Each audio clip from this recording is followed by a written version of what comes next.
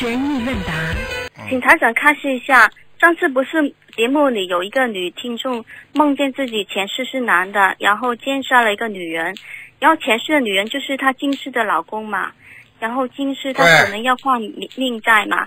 那我想问的是，她前世杀人是不是已经就是到地狱里受报过了？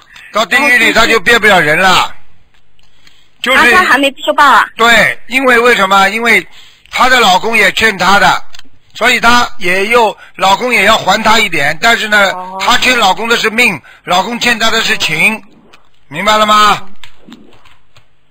哦，哦哦哦哦哦，然后，啊 然后然后今世投人还要还她老公一条命啊？